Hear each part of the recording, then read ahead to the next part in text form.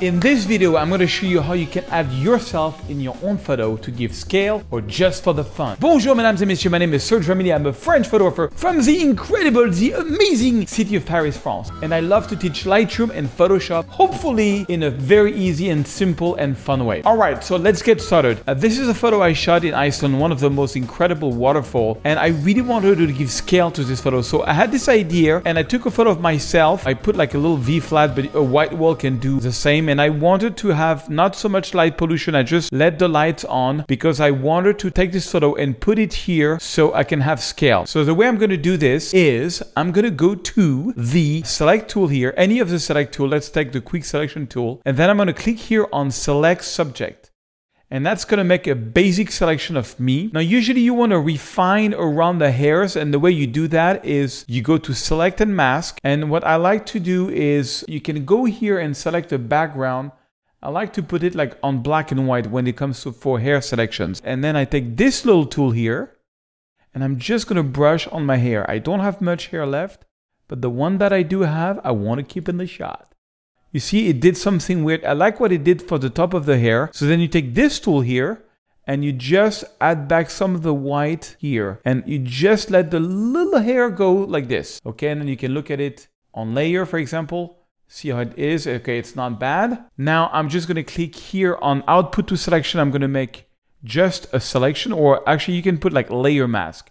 That way it's already masked and click OK. Boom. Okay, now we have that. I'm going to take the move tool and I'm going to move this on this beautiful photo of Iceland. So here I am. I'm very big. Um, some of the feet is missing. It's fine. I don't want that. So I'm just going to zoom out a little bit with pressing Z and zooming out. And then I'm going to select, make sure you select this photo and I'm going to press Control T and I'm to make myself smaller. So one little trick is if you hold on the option key and you click on any of the corners, you can make yourself smaller in all side at the same time. I And I want to position myself uh, against the waterfall. I'm just a little too bright, so we're gonna have to correct that. And uh, I'm gonna press return. That's kind of cool. I really wanted, yeah, my body against this. And then I'm gonna zoom in a little bit and I'm going to click here on the mask, take a little brush, B for brush, Make sure you have a small brush. So one trick, any tool in Photoshop, this is so important. You can make it bigger or small by holding the control and option key on a Mac. And I believe it's control and alt on Windows. Let me know in the comments if that's the case. And then you just left click. And if you go left and right, you can make any tool smaller, bigger. So this is a brush. Okay, make sure your brush is black. Black conceals. I want to pretend that some of my shoes is somewhere in the grass like that and I'm like kind of far away, maybe actually it would be, no, I think it's better to go like this and B and then make some of that rock go in front. But, you know, overall, and then pretend there is some kind of rock there. Okay, it's not so bad. Not so bad, but I'm really too bright. So what can I do because I'm too bright? Well, also the colors don't match. like very yellow. I, I'd like to match the colors. So two things I can do. I can go here and just add a curve here. Now, by default, if I move the curve up and down, everything is going to get bright. I only want me to be either bright or dark. So how can you do that? Well, you see here, you can click on this little square with the arrow. If I click on that, it's going to make a little arrow.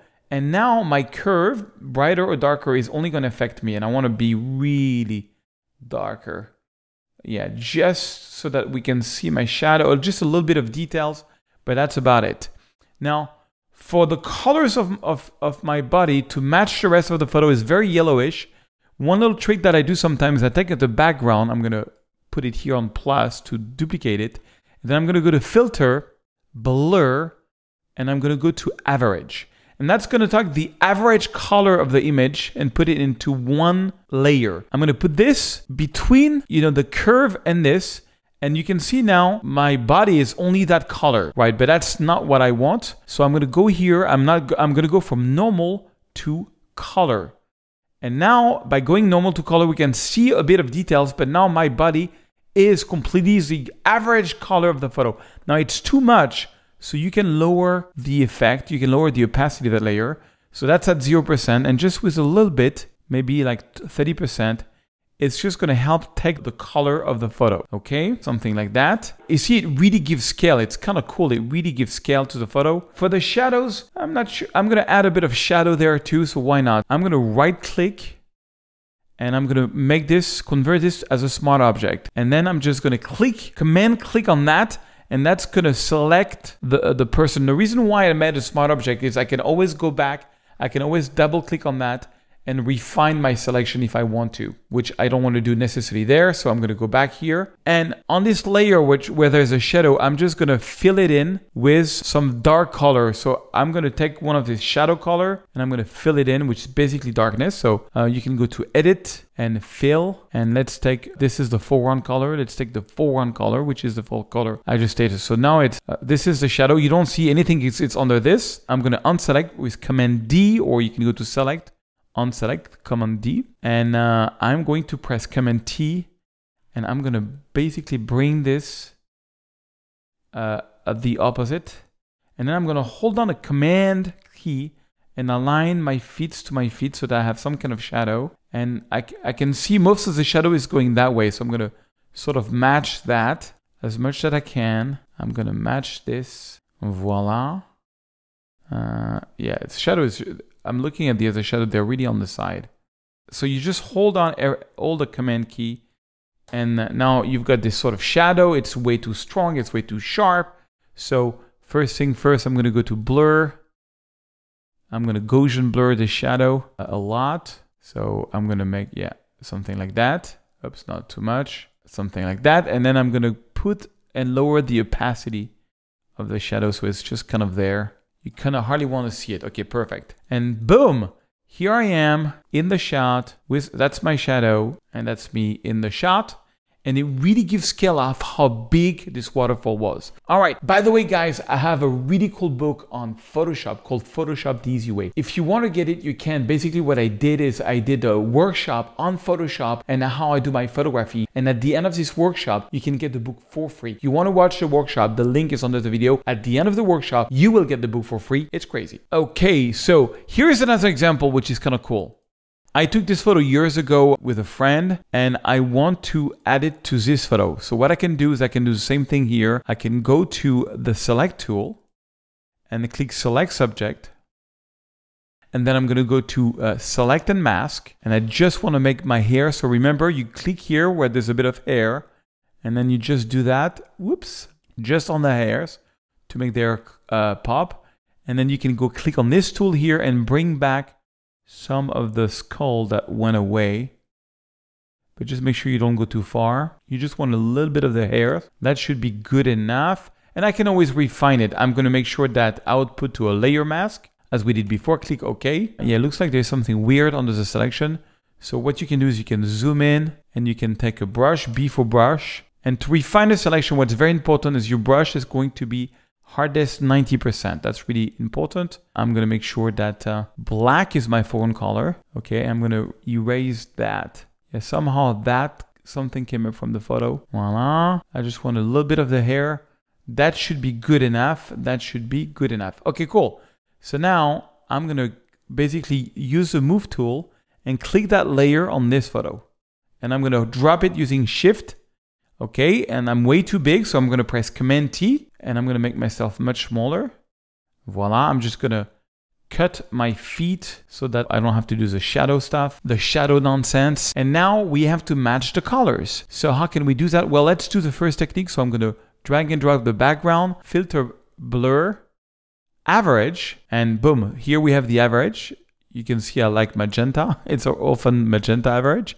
I'm to put this over and then I'm going to click on the option key and make this. If you click on the option key, you can see there's a little star going down. I'm just to click between these two layers and it's going to force this layer to only be applied to that's to what's underneath, which is this layer plus its mask.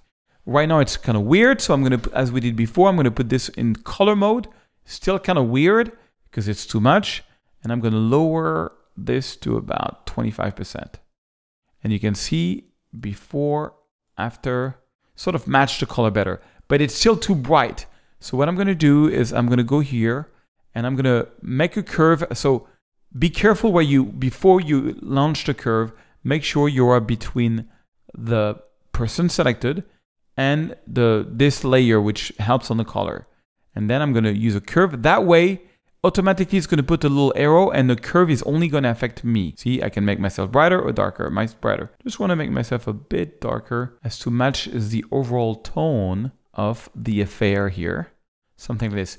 But there's a problem, and this is something I learned from Joel Grimes, is that sometimes when you do that, you're like too much blended. If you want to make yourself stick out, here's a little Joel Grimes trick that I learned years ago. I'm going to create an empty layer, take a B for brush, uh, I'm going to take like a very light color like this one, like the sky, even make it a bit brighter. So this is my foreground color now.